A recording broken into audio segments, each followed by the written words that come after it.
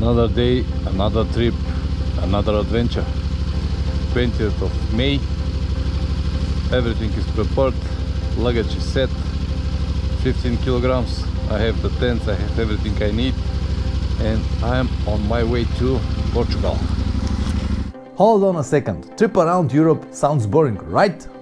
Yes, you might be correct, but as usual, I will try to convince you that on the long trips you never know what will happen. You don't need to look for adventure because it will find you one way or another. And also this was my way to test my new motorcycle in any kind of riding conditions and prove that it's capable to work on my future trips. So let me try to show you what exactly I have experienced on this so-called boring journey. How long? Hard to say. Whatever it takes.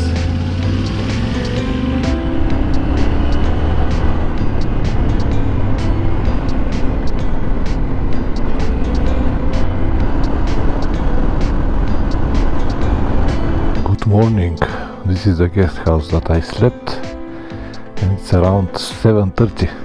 I slept a little bit longer I have no idea why. Ah man, this is nice. Oh, there is Dospat. This was one of the most unusual experiences that I have in my entire life. Дай да помагам и аз. Къде да помогна, жава. А, тук да дигам. Къде? Не, не, аз бою. Айде, бе! Айде тук. А.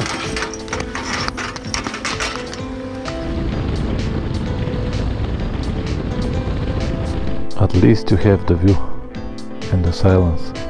This is what it means to have Skopje in my knees. This is the top of the viaduct and the water was going down in its natural way. Well, well, well, I'm really impressed from the square. A lot of colors, beautiful buildings, wonderful. I love this building. Uh, good morning. This was one of the most bizarre experiences that I've got in the last few years. Sleeping in this very expensive luxury hotel.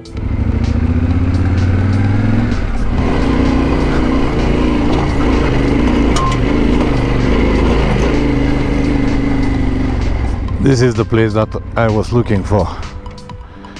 Fantastic. To go on a road like this with ABS on, it is an adventure because you cannot uh, lock the rear and it goes very fast.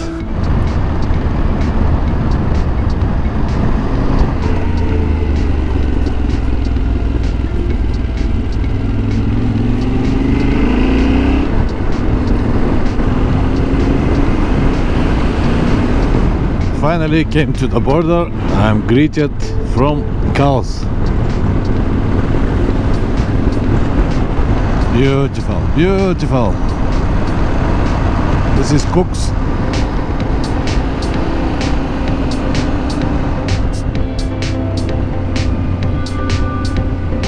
I finally came on the top and now I'm going down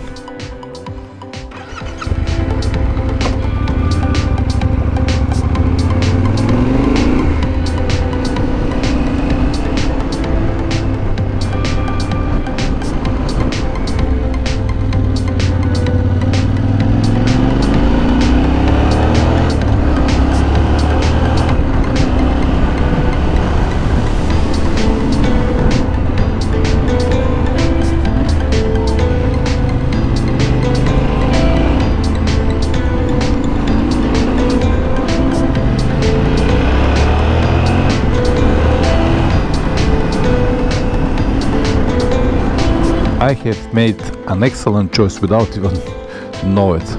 Yeah, perfect spot to relax, have my breakfast. The road became really narrow. I can see that it's not used much. I hope it will lead me where I need to go, otherwise I have to go back.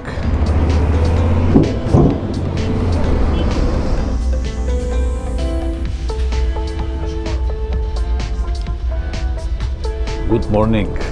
After I spent almost, let's say, almost like 20 hours waiting for the ferry, boarding on the ferry, ferry itself. I'm still in the ferry and this what time it is? 7.30 in the morning. Now officially welcome to Italy. Fantastic. I told you that on this heat I'm not going to walk, but actually I will.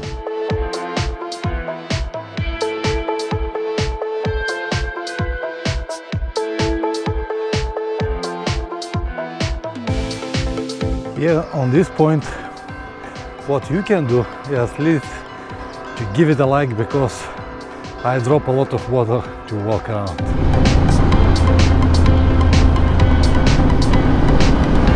This is Tolbe. I really like this small Italian town, villages. Absolutely fantastic atmosphere.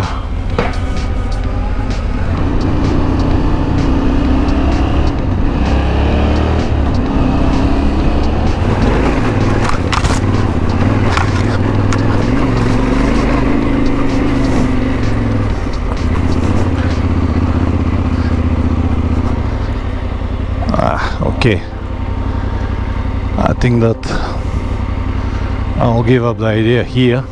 This was the right moment to say no. And continue on my journey. Because here will be very easy to to break something. And very difficult to receive help if you understand what I mean very interesting road I can see through the condition that it's not very used. It's very high. I'm gonna check what is the elevation. Hmm. and the views are fantastic.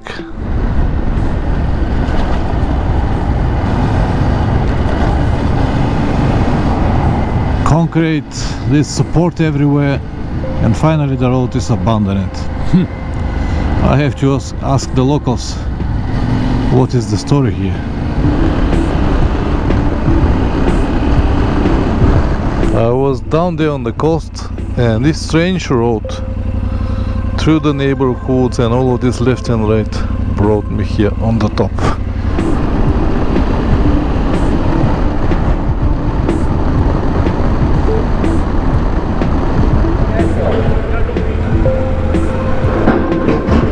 What I found interesting is that not many people in Italy actually speak English. I guess you're wondering, what is this? This is me. I'm the chef of my own meal. Calogero told me that this road was abandoned a few years ago and I have seen a lot of signs no entry, no entry, but it is still operate. Every time when I visit places like, like this, I feel so sad to see H28, H28, H29, 24, 21. This is Canadian War Cemetery right in the middle of Sicily.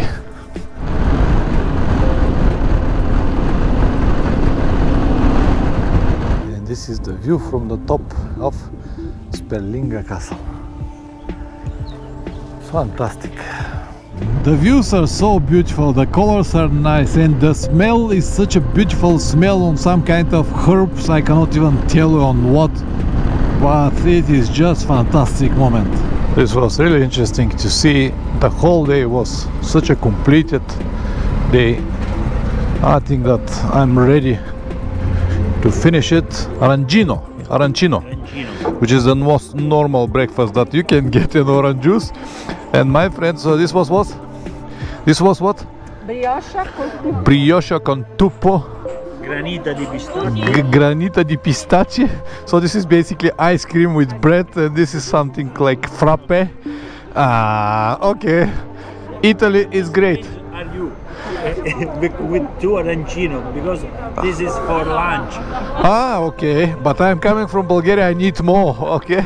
This is another one abandoned places. Calogero just explained me the history.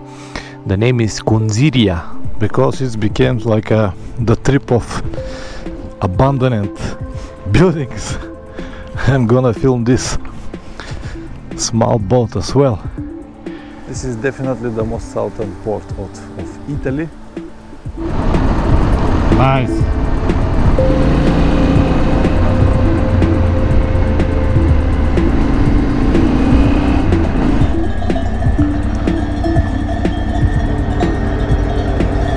This is the famous Corleone. Everybody knows it because of Godfather and Don Corleone.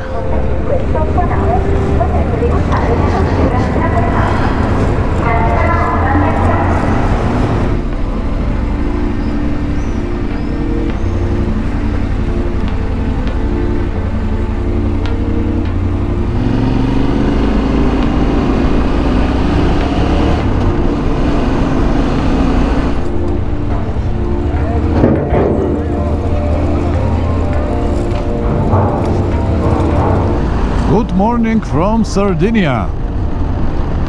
They said that one of the blue zones, you know, blue zones where people live much longer than the rest of the world, they said that one of the blue zones is located in Sardinia.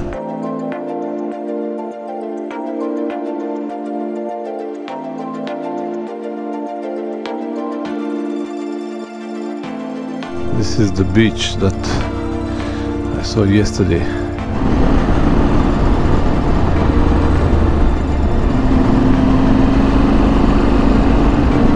There is a big difference between the east and the west coast of uh, Sardinia. Ah, okay.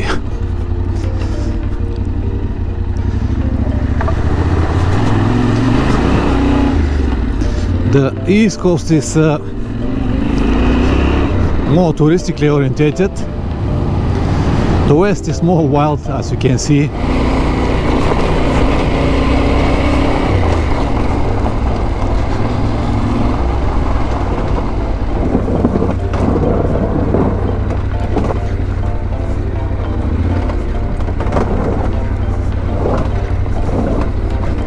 Cannot tell you how good it is, man. This was one of the most refreshing experiences that I've got in the last two weeks. 39 for just 5 minutes.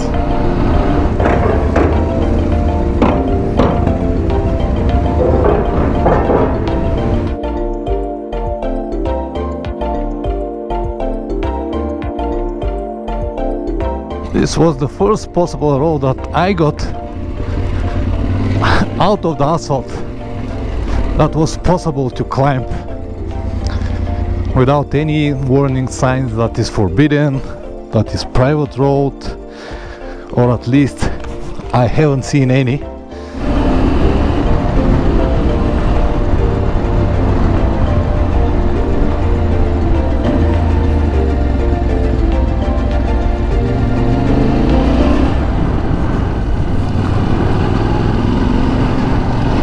It is nice to feel the freedom at least for a while. Let's see where this road will lead me. I think it will be on the top of this beautiful mountain. I'm gonna have even more spectacular views from what I have now. But let me check. This is a nice moment, isn't it? Can you see the eagle or hawk? I don't know. It should be like a northeast part of Corsica. I've got the castle on the top. Whole town. This is the bridge that I took the first picture. And over there is the campground that motorcycle is.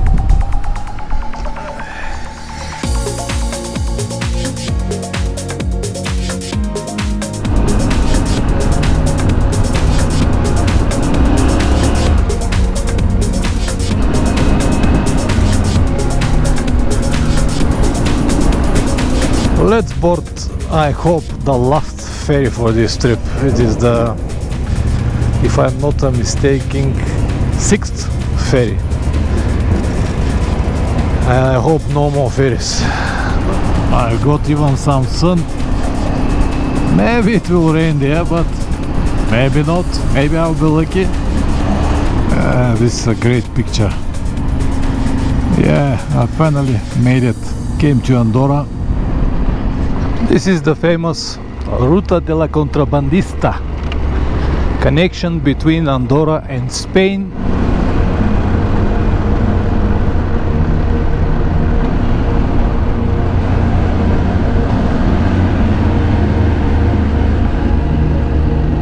Cañón Añisclo. What a place. This is Pamplona. And this is me sitting on the top of this interesting place.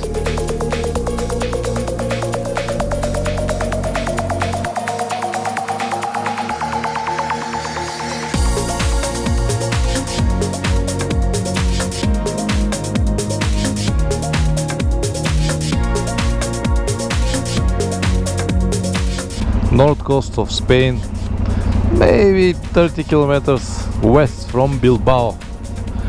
What a beach line, huh? Ah, man, this is wonderful. I like to be on the place of these guys down there. It became 21 degrees, no traffic, perfect visibility, just great. All of these small coast towns are extremely beautiful. Especially this one here is just spectacular.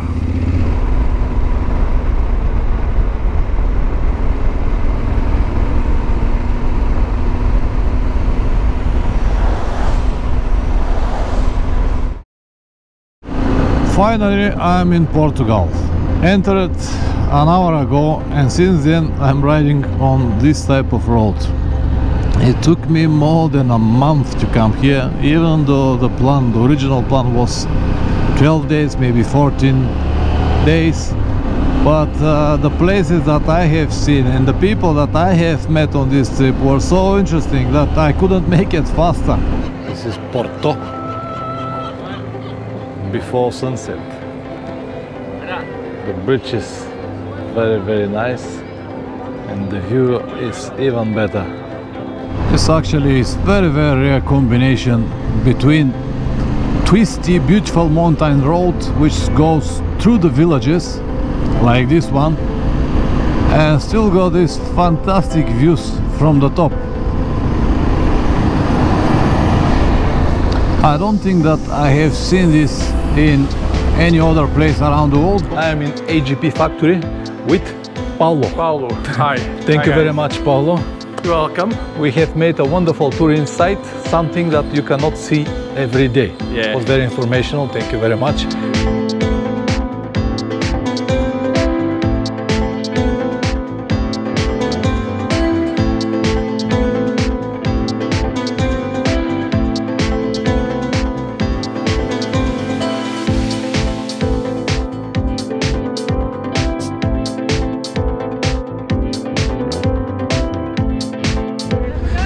Thank you, thank you, thank you, thank you.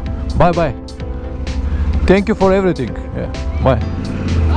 Bye. What a place, huh? It is 1400 meters and I have all of these windmills.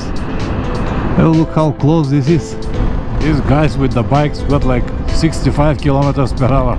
Alright, I just crossed Viseu. Now I'm on the way to Mangualde on road number M16 and then we'll go to Manteigas, which is very important with all of these turns. And then I'll go to Torre, which is the highest peak of uh, Portugal. The clouds are going to the hills, covering everything.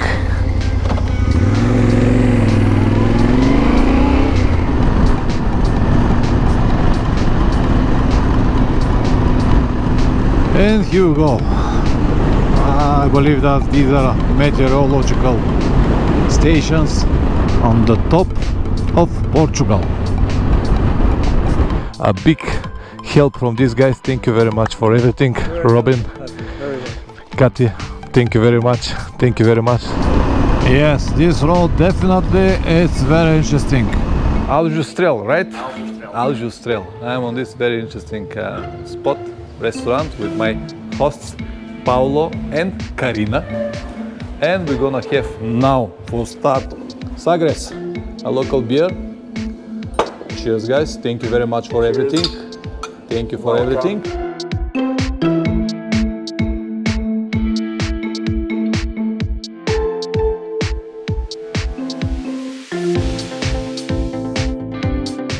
Welcome back to Spain. The famous Douro River. I think that I'll be perfectly fine here. I don't think that anyone will come. This will be my place. Let me open the tent.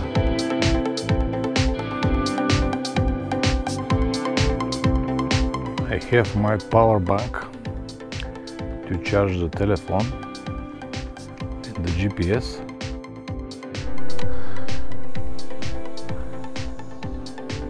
Good morning. Quarter past six. There's only one problem with this wild camping that you have to wake up very early and leave before people start moving around. This is San Leonardo. Beautiful old town. Today I have this very very difficult ride of 113 kilometers this way. It is what it is. I'm gonna stay with friends in Pamplona. I stayed with friends here. So this will be the most easy day since the beginning of my trip. But from tomorrow I'll be very very strict and I have to ride at least 500 kilometers a day. Buenos días. Número 7. Con tarjeta. Ok? No tienes, no tienes. Gracias. I don't know did I told you but in Spain they've got the the most cheap petrol at the moment because government made this 20% discount for every liter. As you can see or maybe you cannot but visibility is uh, compromised. So safety first slow down. Honestly it was fantastic ride over this mountain. Fantastic. I enjoyed so much this is one of those roads or things that no one even mentioned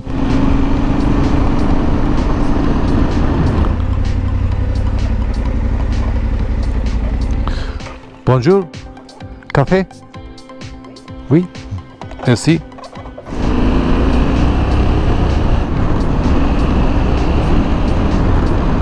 Bonjour, ça va? Je m'appelle Pavlin, je suis bulgare. Qu'est-ce que c'est? And with this, my French is over.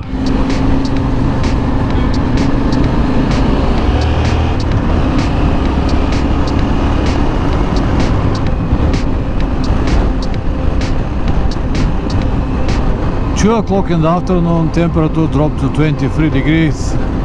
The pass is open. I hope it is not going to rain. Well, in the last hour and so, just when I was going through the passes, it was raining. But it is what it is, I cannot complain. The altitude here is 1000 meters.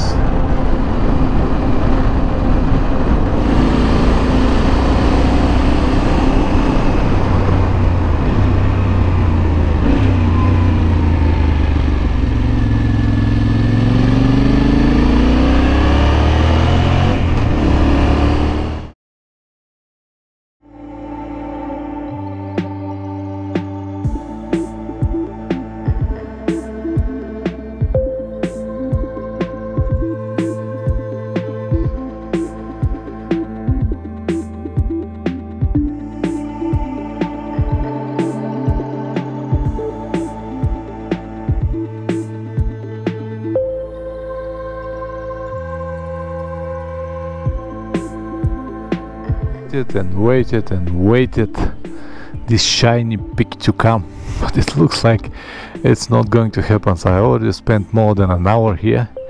And as I can see now the fog slowly coming down which is mean that it might start rain after a while. And because I don't have much time to waste I have to go what a mystical place, huh? have a look at the surroundings.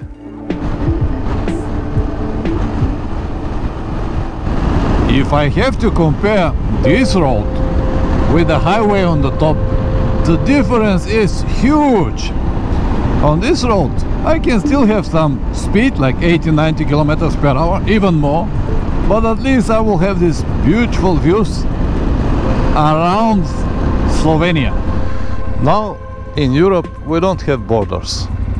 But when you cannot read even the names of the villages like this, Xorkuyen Fold Vorshok or Vorshok or Shornye Fold Vorshok, whatever it is, and when you cannot understand even a simple word from everything that they telling you, you have to be sure 100% that you entered Hungary. Okay, this was the place.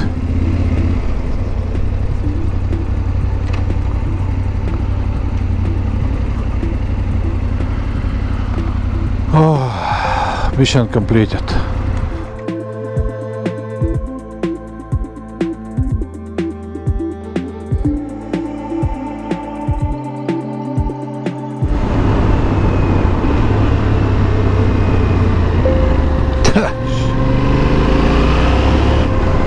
Minute here or there or two or five won't change anything.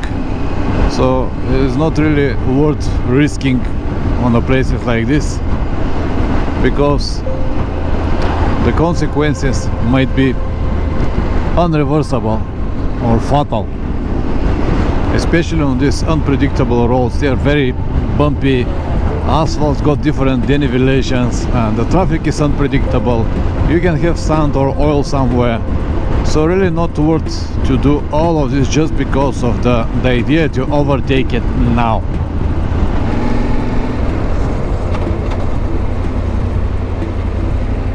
One minute. They just look on my documents. And said go. So it is all right people don't really mind to go in front. They know that with the motorcycles it's a, a bit different you don't need to wait for everyone. It's not that I am arrogant. No it is the way it is. People understand and they never make problems for motorcyclists. After a little bit more than a month I'm back in my hometown Varna Bulgaria. The trip was around 15,000 kilometers.